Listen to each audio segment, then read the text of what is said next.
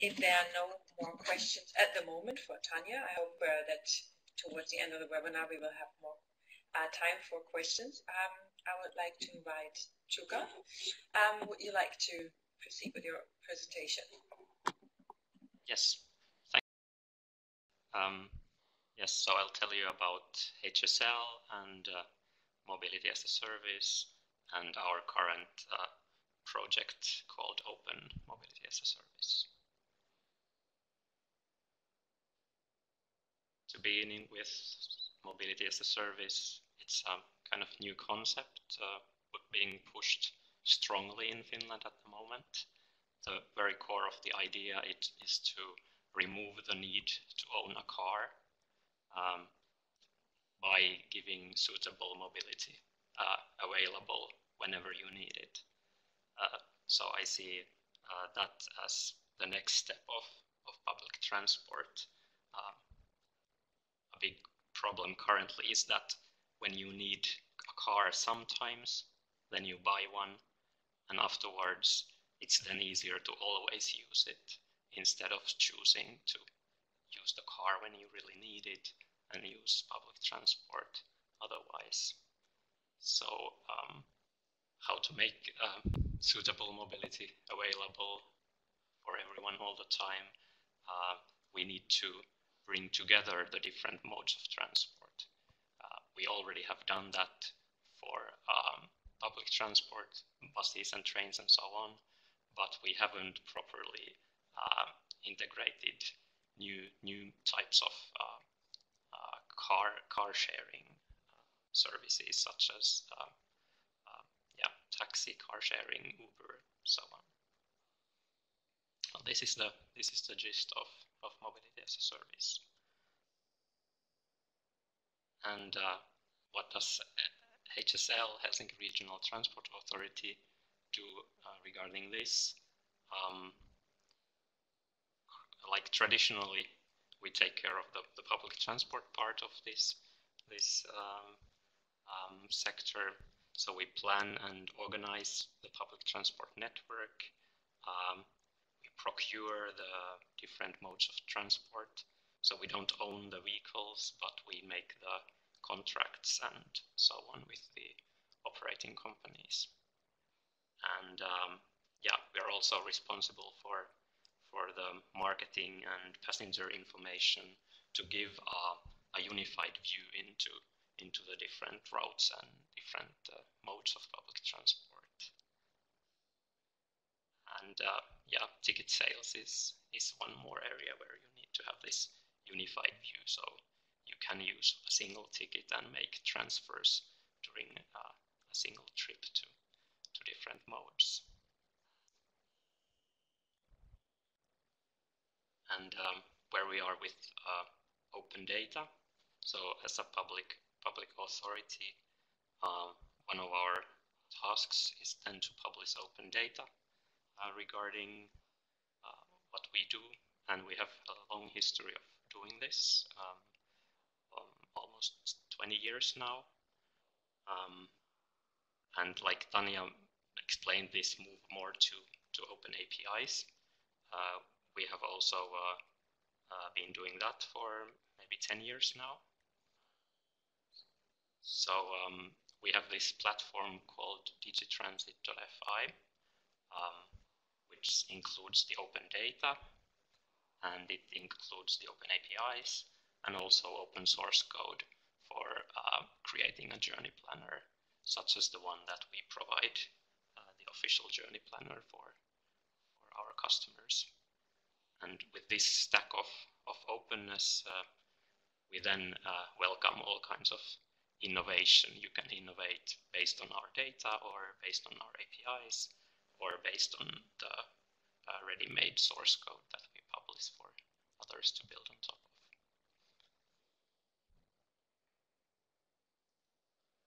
But what is missing from that open data is the ticket part. So I have here included some screenshots of what our mobile ticket looks like in, in our uh, mobile application. So you can choose to buy a single ticket or a day ticket or a 30 day ticket, and then you choose your customer group and the zones that you need and how you pay it. And after that, you get this, it's an animated, animated and the colors are changing in the ticket so that it's not so easy to, to forge it, make copies of it. So this is what you would show to the driver when you enter a bus and this way we would be sure that you have paid for your trip. And now um, mobility as a service enters this picture so that the first two screens um, another service can make differently. Uh, but uh, from the third screen, they will still get the same uh, uh um, reliable ticket view, which can be used to show that, yes, they have paid the ticket or someone else has paid the ticket for them. And the API, when you want to sell these tickets in, in your own service, is this open MaaS API uh, with this address salesapi.hsl.fi. It's an open API, meaning that anyone can and enter their um, business credit card information and start selling these tickets. So uh, you don't need to make uh, or contract negotiations or anything like that. So this is lowering the barrier for for new uh, mobility service businesses to very much uh, wish that we get a lot of new types of mobility services here in Helsinki region. And here I listed some examples of what the business models for new mobility service businesses could be could sell a monthly package that would include public transport and these other modes, for instance, a certain amount of taxi trips or whatever you should need. Uh, so what happens there?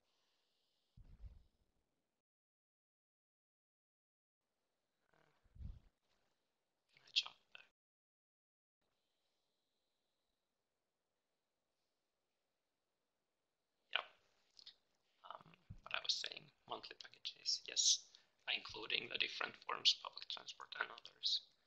Or then it could be a sales channel for a specific focus group, such as in this Tencent case, it's these uh, Chinese tourists. We as a public prepared to serve all the uh, these types of special groups uh, the most effectively and then it's very nice that uh, for instance Tencent now uh, focuses on and makes the best service for them. Um, then one typical case into complete trips. So could be uh, a long distance train, uh, then a flight to another city, destination city. So you could go door to door. Currently, anyway, in the future, if this spreads, throughout Europe than within Europe, and uh, you could get it all from the single service that you chose. It will buy the, the tickets for you for all the legs of, of the complete trip. And last, it's not only um, the, the travel part, but mobility is often connected to a theater attend and uh, why why not combine it so that the, the hassle of parking at the sports event would be solved so that your sports ticket actually includes includes this uh, uh, service of getting you there without you having to uh, and them having to organize enough uh, parking.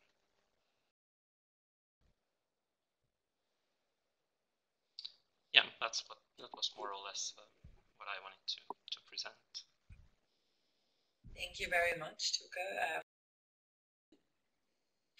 and um, it, it, gets really clear where, where a lot of benefits lie, initiatives that um, you're running. Also, movement towards the monthly packages that um, have to uh, have a monthly package that ensures mobility and leaves the freedom to decide the, the mode of mobility. Um, um, that's uh, very interesting. What I'm, um, what I would like to know is when you about um, that you are and having contracts with them, and I could imagine that this has difficulties um, especially in terms of, um, of the data from your um, operating partners as open data? Is that something you put? Can you say something about that? So you agree to a terms of service when you register to the API, and part of it is that uh, you will provide us anonymized uh, data about users are using using our tickets. That's that's the basic basic case. That uh, that's interesting and um, really great to see how you actively enable new businesses um, to en enlarge the market. And um, uh, questions for Tuukka. I'm question um, if we are sharing these slides. So um, as I said, the webinar will be openly uh, published, so the slides can be replayed. Um, and since they're not my, I would um, uh, uh, put the question on, on Tuukka and Tanja if you would like to share these slides in any other form than within this webinar um, to uh, reply yeah. to Sumia Kanti. Yeah. Definitely.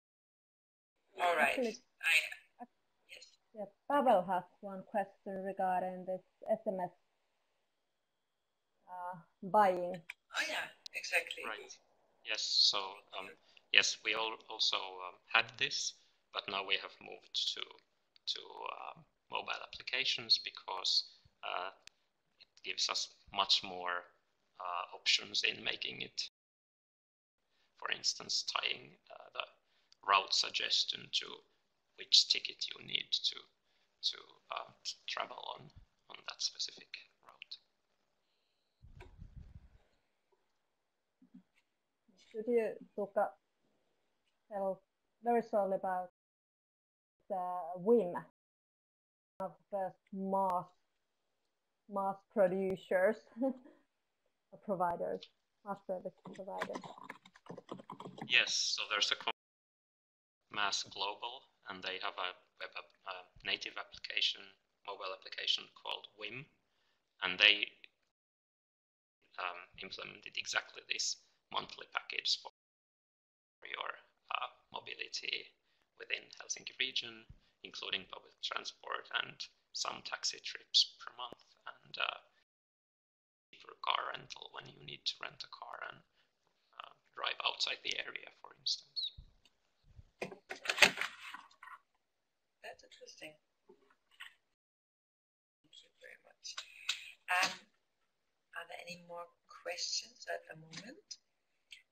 I don't see uh, anything, so um, I to give the stage to Benedikt now.